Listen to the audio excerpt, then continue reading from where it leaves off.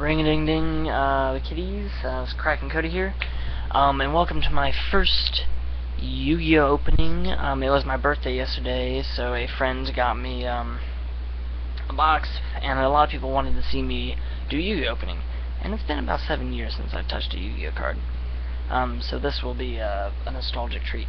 Um, as you can see, some are already opened. I just recorded a video and it stopped. It stopped after I got four packs done. Look, one pack left. That's that. Ah, that's so. Ah, it's so disappointing. So yeah. Uh, so I guess I'll just show you through the ones I've already opened and then open the last one on tape. But yeah, here is if this is Legendary Collection 4, Joey's World. Um, so hopefully I remembered some of these cards. Um, they came with nine promo ultra rares uh, Blue Flame Swordsman, Harpie Lady, Phoenix Formation, Card of Last Will, and then six tokens, which I remember Joey using in the uh, series. Um, these are the four rares I've gotten so far. Jinzo, Lesser Fiend, uh, Summon Skull, I remember him. Um, Shadow Tamer, I don't remember her actually. Uh, super rares, Horn of Heaven, Book of Life, uh, Brron, Mad King of Dark World, and Zombie World. Um, Secret Rares, Trap Jammer, Mystical Space Typhoon, Dark Hole, and Snow.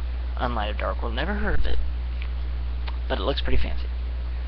And the Ultra Rares, two Hysteric Parties, Called Mummy, and Harpies. Hunting Ground.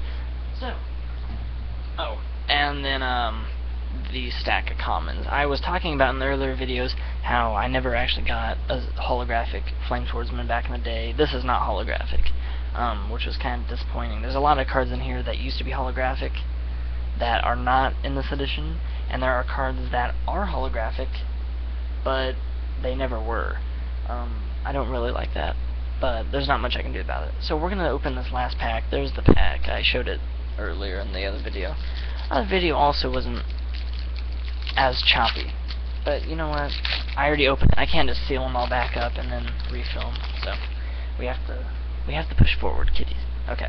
We got a release restraint.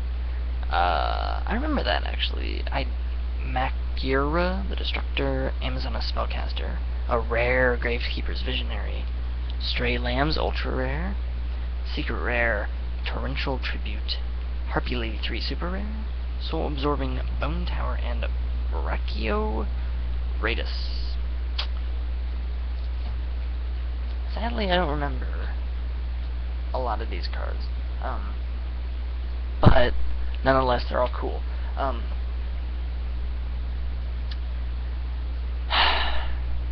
I'm just really disappointed that that last video cut out due to um, it disconnected. Um, because I had so many good little one-liners I said as I was opening these. And now you all won't be able to hear them. Ugh, man. But no, I like these. I, um you know, it's been such a long time since I've done a video. Also, you guys should see it. I wish I could show you how I'm videotaping this, um, because I just brought my webcam down and I connected it to this Walking Dead novel I just got, and I put my microphone next to it, and uh, it's pretty funny, but it works. Um, I wish my uh, webcam was better, of course uh, then you can actually see all the detail. Oh, man. So disappointing. But, uh, yeah, this, this was, I mean, I don't know how much he got it for, but every pack guaranteed one super rare, one secret rare, and one ultra rare, and then one rare. Um, so if you're really big into collecting the holographics and rares, this box Oh, also, if you like retros, this box is definitely for you. You know what? Actually, I think there's a board in this box. Oh, there is.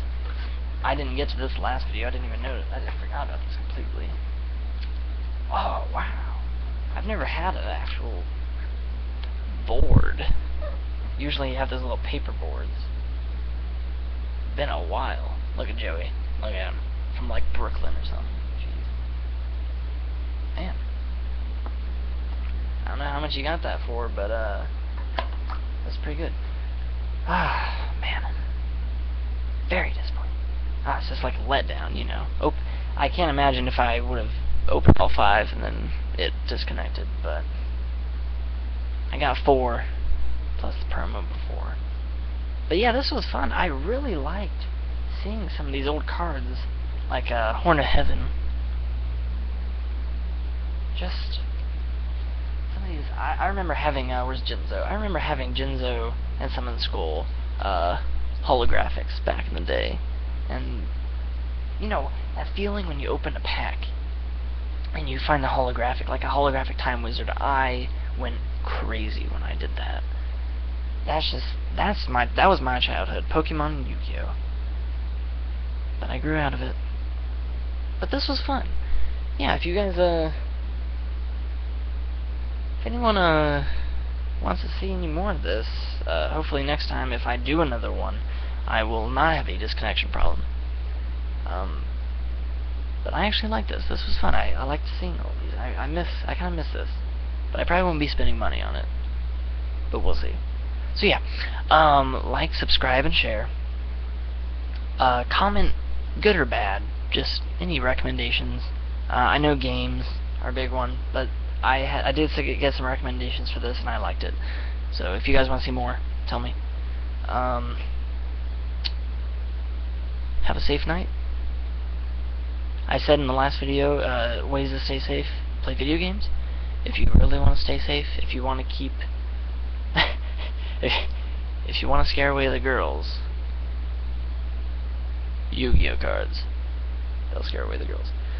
But yeah, um, as always, have fun. See you in the next video.